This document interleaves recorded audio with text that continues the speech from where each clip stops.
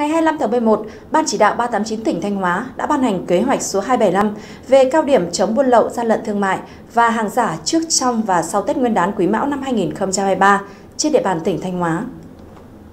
Ban chỉ đạo 389 tỉnh yêu cầu các ngành, các cấp, các lực lượng chức năng chủ động nắm vững diễn biến tình hình, tăng cường kiểm tra, kiểm soát, bắt giữ, xử lý các hành vi buôn lậu, gian lận thương mại và hàng giả. Đặc biệt, tăng cường các biện pháp kiểm soát các hành vi lợi dụng sàn giao dịch thương mại điện tử, mua bán online, mạng xã hội Facebook Zalo để kinh doanh hàng cấm, hàng giả, không rõ nguồn gốc xuất xứ, hàng vi phạm quyền sở hữu trí tuệ. Đối tượng kiểm tra là các tổ chức cá nhân có dấu hiệu vi phạm trong hoạt động vận chuyển, buôn bán hàng cấm, hàng nhập lậu, sản xuất, kinh doanh hàng giả, hàng không đảm bảo chất lượng, không đảm bảo an toàn thực phẩm và các hành vi gian lận thương mại. Địa bàn kiểm tra trên phạm vi toàn tỉnh, bao gồm tuyến biên giới đất liền, tuyến biển, hàng không và thị trường nội địa.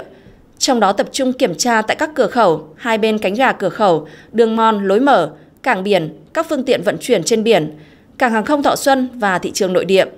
Lĩnh vực ngành hàng tập trung kiểm tra gồm hoạt động kinh doanh xăng dầu, khí dầu mỏ hóa lỏng, vận chuyển, tàng trữ và kinh doanh hàng cấm, hàng nhập lậu.